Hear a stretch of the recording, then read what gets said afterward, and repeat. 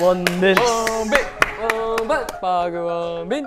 안녕하세요. 저는 오늘 라이즈 원빈에 대한 특강을 맡은 박원빈 강사입니다. Wow. 빈쌤이라고 부르세요. 아 빈쌤! 빈쌤. 빈쌤! 자 오늘 저 빈쌤이 여러분에게 가르쳐드릴 과목은요. 바로 케이팝 씬에서 혜성처럼 등장한 보이그룹 라이즈 그 중에서도 특히 원빈이라는 멤버에 대해 집중 탐구해 보겠습니다 라이즈의 원빈은 2002년 3월 2일 울산광역시에서 태어났어요 자 가장 많이 출제되는 닮은 꼴 문제 이거 중요해 이거 중요해? 원빈은 동물 중에 뭘 닮았나? 바로 오리예요. 오리!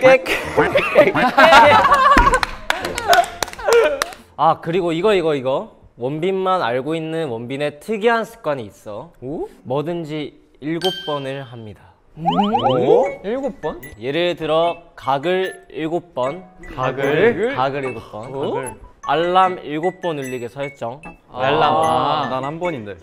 마지막은 춤을 가르쳐 드릴 건데요. Wow. 바로 라이즈의 Get A Guitar의 주요 안무를 가르쳐 드릴게요. 헐 아, 일단 처음에 이 이렇게 손을 rock, rock spirit.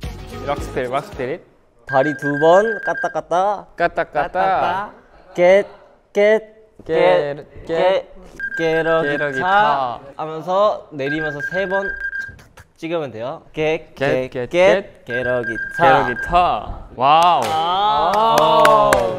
오늘 배운 안무 복습해서 챌린지 많이 참여하시고요. 지금까지 빈쌤이었습니다. 어!